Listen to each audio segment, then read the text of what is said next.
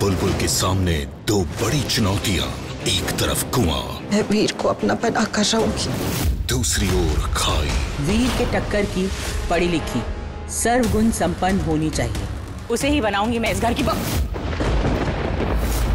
तुम कौन हो? इस अग्नि परीक्षा से कैसे बचेगी बुलबुल? मेरा बालन थानेदार। सोमवार से शुक्रवार रात साढ़े नौ बजे।